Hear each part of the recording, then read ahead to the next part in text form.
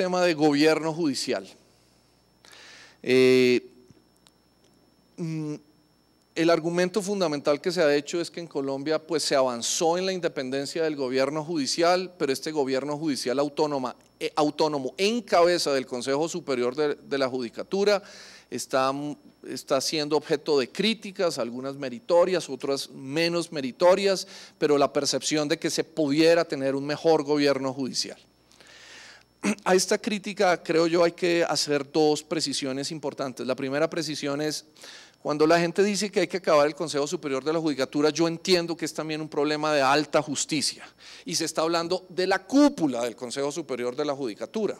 Hay más un ataque, si ustedes me lo permiten, a la cúpula del Consejo Superior de la Judicatura, porque es muy difícil administrar con seis gerentes permanentes en la sala administrativa. Bueno, las críticas que ustedes conocen y que se vienen haciendo hace años, frente a la frente frente a la idea de que se va a desmantelar por completo el Consejo Superior. En algún sentido el Consejo Superior es imposible desmantelar, lo voy a decir en este sentido. Es la institución colombiana que hemos mantenido en los últimos 20, en los últimos 20 años que tiene algún conocimiento del gobierno judicial podemos tener opiniones diferentes eh, o divergentes sobre el mérito de la actual configuración de la cúpula y si cúpulas mejores a su vez ofrecerían un mejor liderazgo a las distintas funciones que tiene esta organización de gobierno judicial. Entonces quisiera distinguir entre la cúpula del gobierno judicial y la organización del gobierno judicial. Lo último que yo le recomendaría al país es desmantelar una organización que es tremendamente compleja y que no, se des, y que no es no es fácil de reconstruir en un día. Pero por el otro lado, es posible que haya discusiones sensatas, interesantes, sobre si uno se puede imaginar cúpulas más funcionales, más eficaces, más técnicas en, el gobierno eh, judicial. Ese es como el segundo debate. Yo creo que los dos debates deben mantenerse separados aunque es cierto que varios representantes del Partido Liberal, del Partido Verde, recuerdan la política ordinaria cuando se hace demasiado énfasis en la alta justicia, yo creo que vale la pena mantenerlos separados porque realmente son dos problemas político-constitucionales muy diferentes. Resolver el impasse político-constitucional de la alta justicia es significativamente diferente a, a resolver y si acaso se requiriera, se requiriera reforma eh, constitucional para ello, los problemas de la, de la justicia eh, ordinaria. Muy bien. Segunda cosa en la que, eh, en la que quisiera rápidamente insistir y es los problemas de alta justicia no están en los planes o en la planeación estratégica del sector es un problema coyuntural generado por un choque entre los altos poderes del Estado que exige resolución, pero que no está en la planeación estratégica del Estado colombiano, ni en general involucra los temas eh, básicos de planeación eh, estratégica. Planeación estratégica es básicamente en el sector justicia, y hablemos así, esto es como terminología de administración de empresas, pero vale la pena traerlo al sector justicia colombiano. El sector justicia colombiano está dominada por abogados, y los abogados solo tenemos una forma nomológica o normativa de hablar sobre la justicia y realmente es muy importante que vayamos ofreciéndole gerencia a la justicia, así seamos los abogados los que incluso constitucionalmente tenemos monopolio sobre eh, esta gerencia judicial y sobre el gobierno judicial. Este es un tema muy importante. De pronto valdría la pena romper el monopolio que tenemos profesionalmente los abogados sobre la gerencia judicial. Esa es una vieja propuesta que se ha venido, que se ha venido haciendo. Está en el proyecto de reforma de la administración. El tema no es si somos abogados o no, el tema seguramente muchos abogados tendrán el perfil técnico y político adecuado para cumplir con las distintas funciones de gerencia judicial, pero creo que hay una importante pobreza en el discurso jurídico y especialmente en el discurso procesal para contribuir a estas tareas de gerencia y de planeación, de la cual se ocupan varios de los actores que están aquí. Entonces, la, la, planeación estratégica en Colombia son en general los objetivos más abstractos que uno le puede dar al sistema judicial. Y en esto yo creo que también hay una importante confusión por la siguiente razón. En Colombia en los últimos 20 años hemos recibido todos los objetivos que creo que se le han ocurrido a todo el mundo.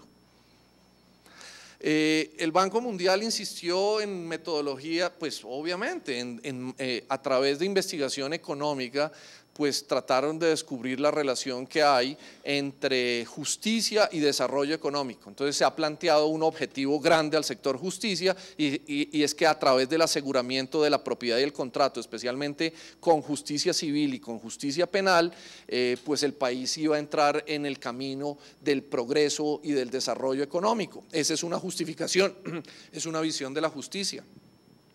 Al lado de estas visiones de entronque, llamémoslo económico, justificación económica, pues tenemos exactamente las políticamente contrarias. Alguien me dirá, son complementarias. Bueno, lo que quiere decir es que a veces no necesariamente son tan complementarias o hacerlas complementarias exige una gran cantidad de trabajo y tener muy claros los énfasis en los, en los distintos periodos de planeación.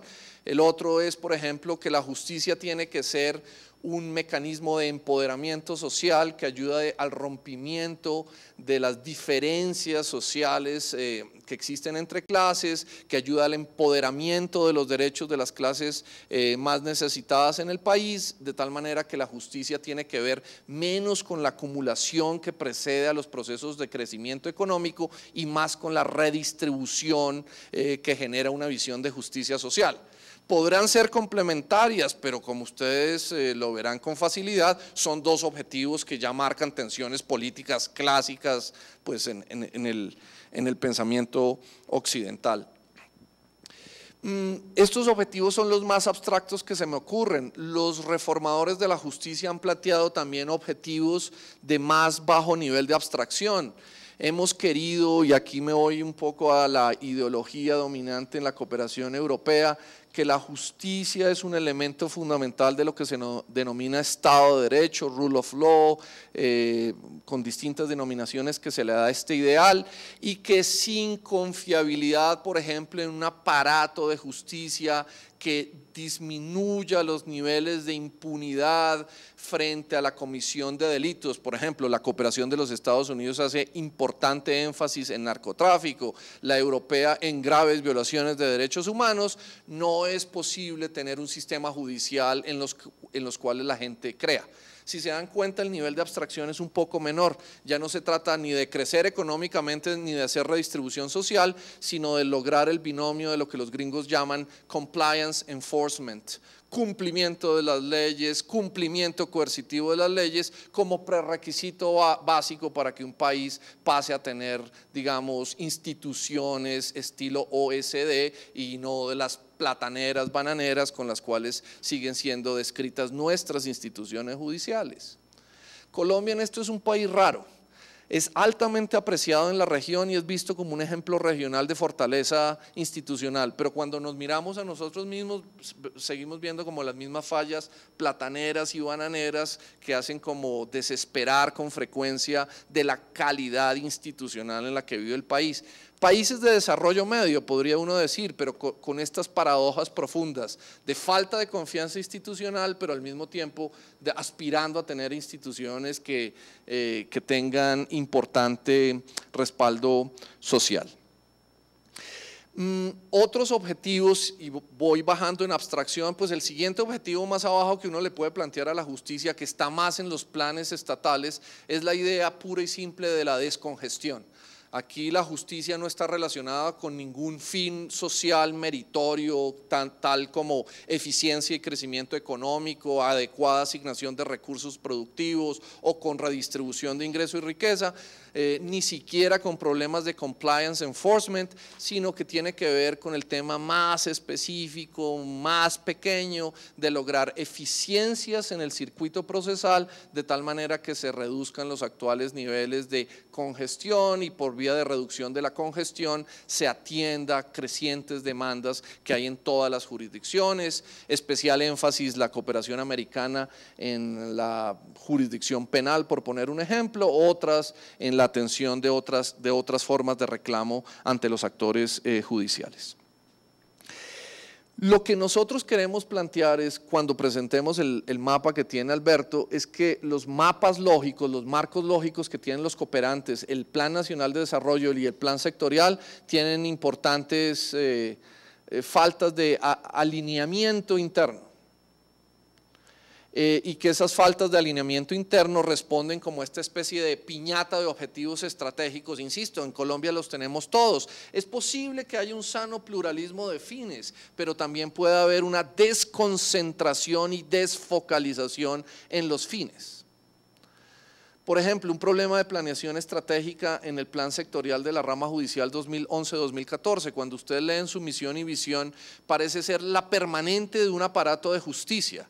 Entonces echa uno de menos, es los énfasis, como uno no puede lograr una justicia digamos, completa o perfecta en tres años, uno esperaría que es un proceso en la que a través de énfasis temporales se van logrando metas temporales o parciales con las cuales se va llegando a un objetivo de más largo plazo. Hay una cierta confusión, llamémoslo, entre el corto y el largo plazo en la planeación estratégica eh, del plan sectorial de nuevo, suelto estas cosas, sé que aquí responsables directos de estos documentos las suelto con el objetivo de ir pensando un poco sobre, sobre estos problemas de alineación entre planes estratégicos, etcétera, etcétera. Una cosa absolutamente fundamental que queremos con esto es que estas visiones de pensamiento estratégico entren a la ciencia jurídica esto que se llama pensamiento estratégico, los abogados tendemos, a llamarlo interpretación finalista o interpretación teleológica. Es como un nombre decimonónico de una cosa que se llama más elegantemente planeación estratégica o pensamiento estratégico.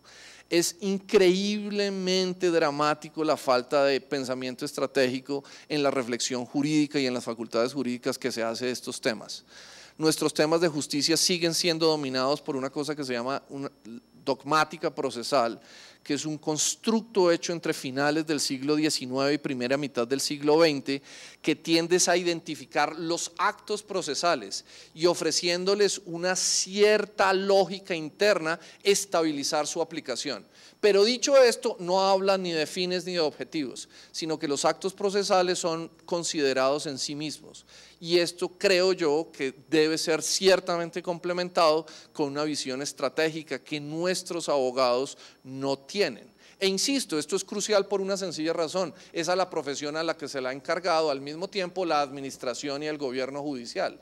No solamente litigamos, sino que somos los que ofrecemos los insumos intelectuales y prácticos que responden por la calidad de la institucionalidad judicial y ciertamente aquí hay un déficit muy importante de formación. Tanto es así que reflexionando a propósito de estos temas, decía yo, hace rato, por ejemplo, los médicos han entendido que hay algo que se llama gerencia del sistema de salud. Y a nadie se le ocurriría decir que el que estudia medicina es al mismo tiempo un buen gerente institucional de problemas de salud. Los abogados no hemos hecho esa emancipación curricular y disciplinaria seguimos pensando que el estudio normativo de procesos tiene relación con la administración o gerencia judicial. Y yo creo que vale la pena que independicemos ese currículo y esa disciplina, así como hemos independizado varias otras dentro de las distintas vocaciones o profesiones del derecho. Y esto es absolutamente fundamental, crear una especie de capital social, un diálogo social un poco más enriquecido sobre administración de justicia y gerencia judicial que los diálogos de bajo nivel sobre reforma específica de códigos y procesos que hemos tenido en los últimos años. Digo esto porque leyendo uno el último informe de USAID sobre lo que ha venido ocurriendo, por ejemplo, en justicia penal colombiana, uno de los comentarios que más me llamó la atención fue esta. Dice USAID en un informe de Goodman y Hammergreen sobre los últimos años de ayuda de los Estados Unidos en el sector eh, judicial colombiano, 2006-2010. Y llegan y dicen, la cooperación de los Estados Unidos se creyó, dice el documento casi textualmente, la colombianada de que la justicia penal colombiana iba a cambiar una vez cambiara el código. Y casi que la primera crítica, pues que suena como muy trillada, pero que vuelve a estar de forma muy puntiaguda en este documento, es que, digamos, la colombianada era que el cambio en el código significaría un cambio en la percepción y resultados sociales de la justicia penal en un momento, insisto, donde, donde hay dudas fundadas sobre los resultados finales eh, de lo que ha venido ocurriendo en, justicia, en justicia penal. Bueno, estos son simplemente unos comentarios eh, para, y, quiero como resumirlos en dos formas, en, dos cosas. Yo creo que hay, que hay que separar rotundamente eh, los dos temas. Creo que en Colombia hay un impasse de naturaleza político-constitucional entre las altas élites sobre el funcionamiento, no de la separación de poderes, sino sobre los checks and balances. Hay gente que se está quejando de que el sistema cruzado de acusaciones, de acusaciones y de posible riesgo penal que está en el sistema colombiano por esta especie de, no de separación de poderes, sino de checks and balances, está generando importante ruido entre las élites políticas y debe ser resuelto porque hay argumentos que creo yo son atendibles. Eso lo deberíamos resolver en una, digamos, en un archivo expediente. En el otro es volver a emprender el tema de la reforma a la justicia. Eh, y, con esto me refiero a la justicia rutinaria, la justicia ordinaria. Eh, y para ello, pues parte de lo que queríamos hacer era convocar esta reunión o conversación sobre fines estratégicos. ¿Por qué es importante en este momento? Porque creo que estamos en un momento además de, en el calendario, estamos en un momento de recambio de programas y por lo tanto de metas estratégicas en los distintos programas escasamente está en Colombia hacemos una planeación contraintuitiva, ¿no? Se hace la planeación cuando entra el nuevo gobierno, el nuevo gobierno se demora un año haciendo planeación y nos demoramos otro año y medio para arrancar la planeación de un cuatrenio que se acaba, por lo tanto, a los tres años. Apenas estamos arrancando con nuestros planes nacionales y planes sectoriales que fueron terminados a finales del año pasado. La, cooperación americana está en un momento de un llamado de lo que ellos llaman proyecto puente. El proyecto puente es que acabaron su proyecto en el 2010 y la principal recomendación fue esta, no inicien un nuevo proyecto hasta que no sepan qué hacer. Eh, palabras más, palabras menos, eh, hasta que no sepan qué hacer, en qué sentido, vuelvan a pensar qué quieren hacer, cuáles son los fines estratégicos. El proyecto Puente debe ir hasta este año o el próximo, donde se abre otra vez un proyecto de más larga duración de cuatro o cinco años, donde se plantea, digamos, los objetivos estratégicos de la cooperación. Igual cosa está pasando, eh, digo yo, en términos de calendario y de agenda, con cooperación de la Unión Europea y con cooperación española, en las que están en un proceso de renovación de sus misiones, de, sus, de sus eh, digamos, proyectos globales de, llamémoslo, mediano plazo, por hablar de, de alguna cosa, tres, cuatro, cinco años. Y eso da ocasión, creo que es un buen momento para hablar de, esta mezcla mm, esperanzadora, a veces confusa, de visiones estratégicas sobre el sector justicia entre estos distintos cooperantes y, eh, ah, y el Estado colombiano. Entonces, esa es la idea. Eh, esto era todo lo, que yo quería decir. Le quiero pasar la palabra a César Solanilla. César va a hablar un poquito más sobre, sobre metas estratégicas grandes y especialmente sobre la relación entre derecho y desarrollo. Así que muchas gracias.